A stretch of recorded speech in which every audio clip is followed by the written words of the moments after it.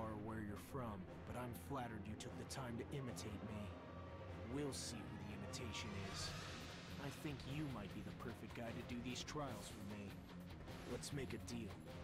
Whoever's the real me will take care of the boring stuff. Wow, sounds like one of us will be in the big leagues. Huh, I didn't know I was such a pain to talk to. Food for thought. Same. Didn't think I'd learn so much about myself today. Thank me later.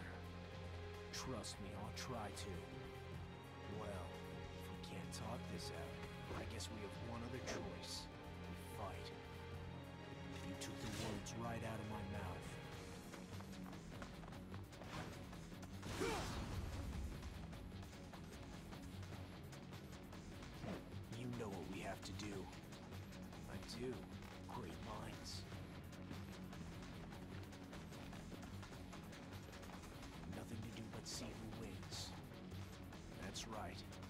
That's settled, we can say goodbye.